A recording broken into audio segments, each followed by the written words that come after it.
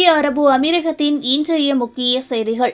அமீரகத்தின் துணைத் தலைவரும் துபாயின் ஆட்சியாளருமான மாண்புமிகு ஷேக் முகமது அவர்கள் தனது மறைந்த தாயார் Sheikha Latifa bin Hamdan bin Zayed Al Nahyan அவர்களுக்கு மனதை கவரும் வகையில் கவிதை ஒன்றை எழுதி தனது தாய்க்கு அன்னையார் தினத்தில் அஞ்சலியை செலுத்தியுள்ளார்.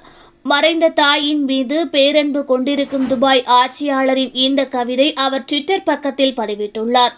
நாற்பது ஆண்டுகளுக்கு பிறகும் தனது தாயை இழந்து வாடுவதாக அவர் பதிவிட்ட கவிதையில் கூறும் ஷேக் முகமது அவர்கள் எனது தாய் மிகவும் அழகானவர் மென்மையானவர் எனக்கு மிகவும் நெருக்கமானவர். குழந்தைகள் தங்கள் தாய்மார்களின் முகத்தில் காணப்படும் அமைதியை பற்றி பேசுகிறார்கள்.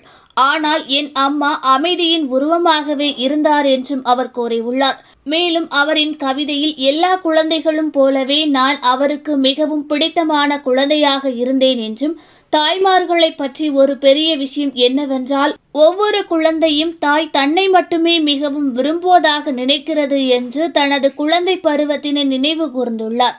மேலும் தனது தாய் பற்றி அவர் கூறுகையில் அவர் வயதாகிவிட்டதால் நான் அவரை மகிழ்ச்சியடைய செய்ய ஆர்வமாக இருந்தேன். நான் வெளிநாட்டிற்கு சென்று திரும்பும் போதெல்லாம் அவருக்கு ஒரு பரிசையும் கொண்டு வருவேன் என்று தாயின் மீதான அன்பை அவர் வெளிப்படுத்தியுள்ளார். தன் தாயை இழந்தபோது ஷேக் ஹம்தான் அவர்கள் உணர்ந்த வேதனையும் அவர் நினைவு கூர்ந்துள்ளார். அதில் மே ஆயிரத்தி தொள்ளாயிரத்தி எண்பத்தி மூன்றில் நான் என் தாயை இழந்தேன் என் நேசமான தாயை என் கண்களை இழந்தேன் என்றும் என் தந்தை நாற்பது ஆண்டுகளுக்கு மேலாக அவருடன் பகிர்ந்து கொண்ட தனது வாழ்க்கை துணையையும் அவரது அன்பையும் தனது நண்பரையும் இழந்தார்.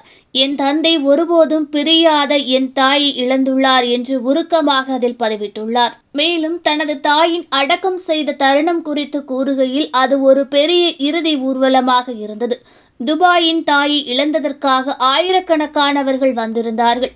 எனது தாயின் உடலை கல்லறையில் இறக்கிய போது நானும் கீழே இறங்கினேன். நிற்க மறுத்த கண்ணீருடன் அவரிடம் விடை பெற்றேன் என்று தனது தாயை இழந்த அந்த சோகமான நாட்களை அன்னையர் தினத்தில் மாண்புமிகு ஷேக் முகமது அவர்கள் நினைவு கூர்ந்துள்ளார் என்பதும் குறிப்பிடத்தக்கது. துபாயில் ஆசிய நாட்டை சேர்ந்த ஒரு ஆண் நபரை தாக்கிய மூன்று ஆப்பிரிக்கா பெண்களுக்கு இருபத்தெட்டாயிரம் திராம்ஸ் அபராதம் மற்றும் மூன்று ஆண்டுகள் சிறை தண்டனை விதிக்கப்பட்டது. குற்றம் சாட்டப்பட்டவர்களில் ஒரு பெண் வாட்ஸ்அப்பில் ஐரோப்பா பெண் போல் வேடமணிந்து அந்த நபரை ஏமாற்றியுள்ளார். உண்மை என நம்பி அந்த நபர் ஹோட்டலில் இரவு நேர உணவிற்கு சந்திக்க ஒப்புக்கொண்டதாகவும் பின்னர் அவர் அந்த ஹோட்டலுக்கு வந்ததும் அந்த பெண் தனது தோழியையும் வேடமிட்டு அழைத்து வந்து பதுங்க வைத்துள்ளார். அதனையடுத்து நாடகமாடி நூற்றி இருபது திராம்ஸ் உட்பட அவரது கிரெடிட் கார்டை அந்த பெண் திருடி சென்றுள்ளதாகவும் அப்போது அந்த பெண்கள் தன்னை கொன்றுவிடுவதாக மிரட்டியதாகவும் தனது கிரெடிட் கார்டை பயன்படுத்தி ஆயிரம் திராம்ஸ் எடுக்க மிரட்டியுள்ளதாகவும் பாதிக்கப்பட்டவர் தெரிவித்துள்ளார். மேலும் தனது ஆடைகளை அவிழ்த்து படம் பிடித்துள்ளார்கள் என்றும் நான் அவர்களிடமிருந்து தப்பிக்க முயன்றதால் என்னை அதிகாலை ஐந்து மணி வரை கட்டி வைத்துள்ளார்கள். ஆனால் மூவரும் வெவ்வேறு டாக்ஸிகளில் அந்த இடத்தை விட்டு தப்பி ஓடிவிட்டதாகவும் அந்த பயணி கூறியுள்ளார். அந்த பெண்களில் ஒருவரை பின்தொடர்ந்து நடந்த சம்பவத்தை காவல்துறைக்கு பாதிக்கப்பட்ட நபர் தெரிவித்துள்ளார். இதனையடுத்து துபாய் ரோந்து வாகனம் மூலம் மூன்று பெண்களையும் துபாய் காவல்துறை கைது செய்து சிறையில் அடைத்துள்ளது.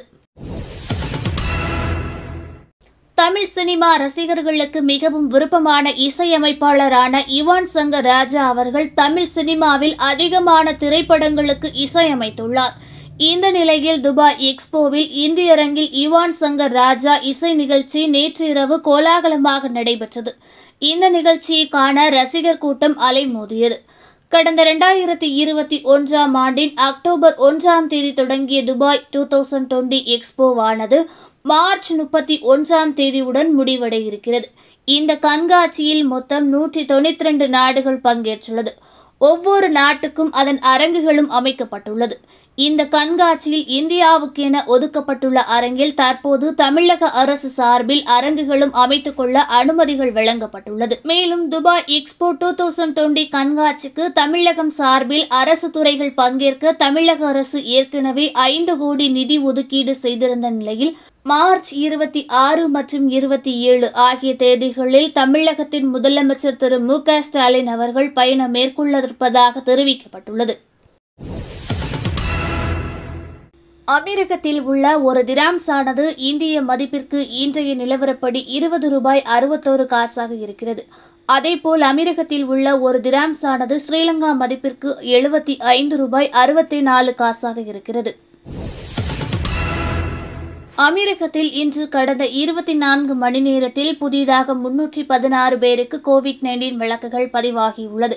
இங்கு மொத்தமாக பாதிக்கப்பட்டவர்களின் எண்ணிக்கை எட்டு லட்சத்தி எண்பத்தெட்டாயிரத்தி முன்னூற்றி எண்பத்தி மூன்றாக இருக்கிறது.